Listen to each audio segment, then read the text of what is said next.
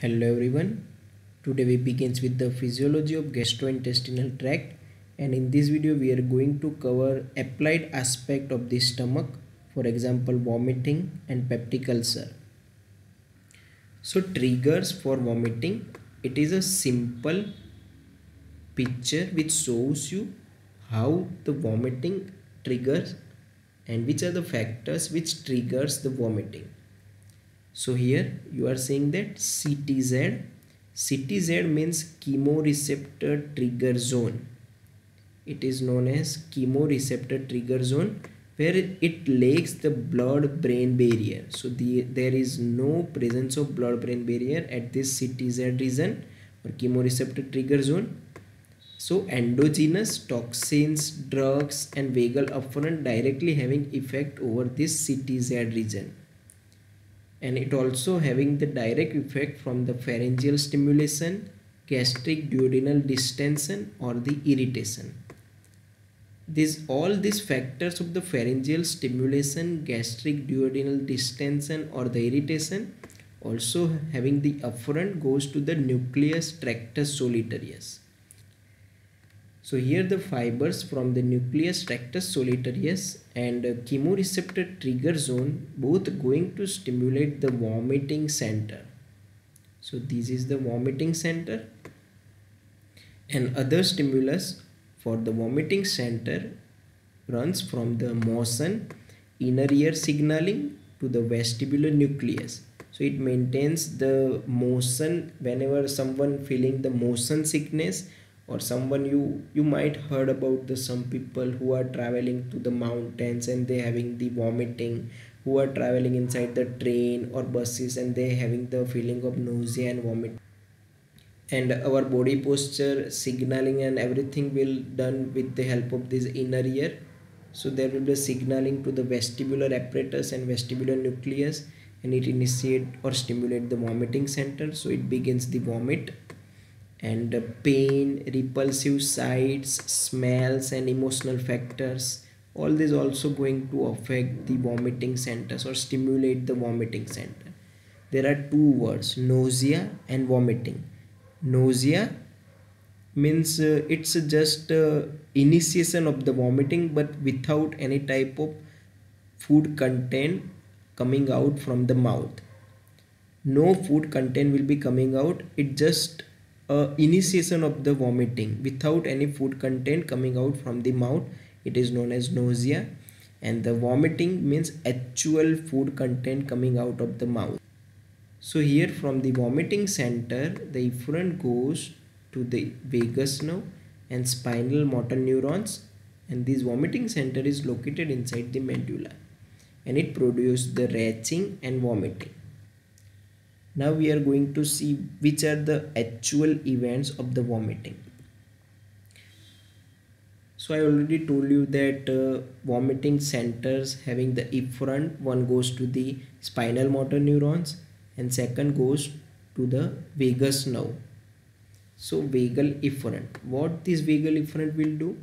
There will be the shortening of the esophagus proximal relaxation of the stomach and giant retrograde contraction of the small intestine.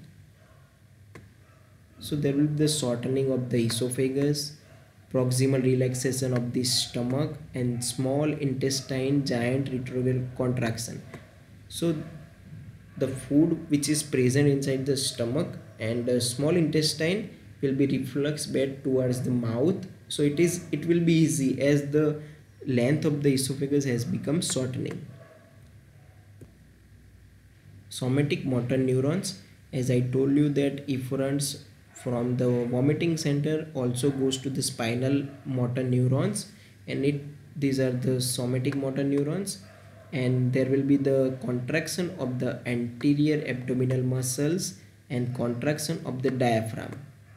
So with the contraction of these anterior abdominal muscles the abdominal pressure becomes increased and there will be the contraction of the diaphragm. Autonomic and somatic efferents. In the future, whenever you having the vomit, then please note that vomiting doesn't only mean the content of the food coming out from the mouth but it also initiate different type of uh, different type of body changes. For example increase in the heart rate sweating and all the thing. How it is going to happen? This autonomic and somatic efferents going to having the effect over the heart. So there will be the increase in the heart rate and force of the contraction. There will be the increase in the secretions from the salivary gland. So there will be the larger amount of liquids or the saliva it is released inside your mouth.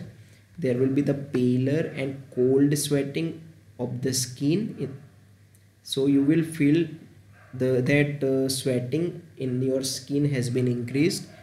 Constriction of the sphincters of the bladder and anus.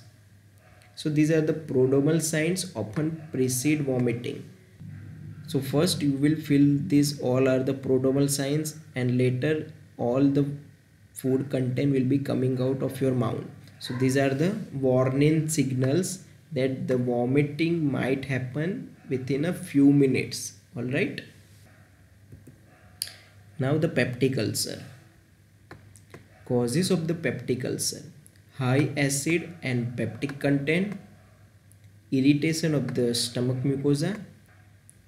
Poor blood supply, poor secretions of mucus, infection with the H. pylori or Helicobacter pylori. So these all initiate the peptic ulcer or the ulceration of the gastric mucosa. Now few students having the confused how this blood poor blood supply going to stimulate the or how this poor blood supply having the peptic ulcer produce the peptic ulcer so poor blood supply that means there is a lack of nutritious environment around the different type of mucosa cells of the stomach and one of the mucosa cell which is producing the soluble and insoluble mucus without mucus or without the insoluble mucus the HCl having the direct effect over the gastric mucosa and produce the peptic ulcer. So simply the poor blood supply also produce the peptic ulcer. and uh, these are the ulcer sites it is mostly present in the cardia region of the stomach mostly at the pylorus part and these are the marginal ulcers other causes of the ulcer ethanol ingestion of the ethanol alcohol smoking NSAID like brufen or aspirin NSAID means non-steroidal anti-inflammatory drugs. Zollinger-Ellison syndrome and it is a type of tumor.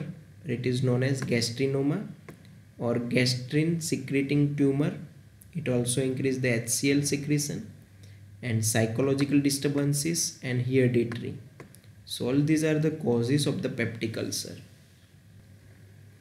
Now the treatment of peptic ulcer how we are going to treat the patients of the peptic ulcer. Here I am making the video of the gastrointestinal physiology applied aspect. So I am not covering this treatment as well as peptic ulcer part in detail because to learn this peptic ulcer in detail in much detail in the next years of the this MBBS curriculum.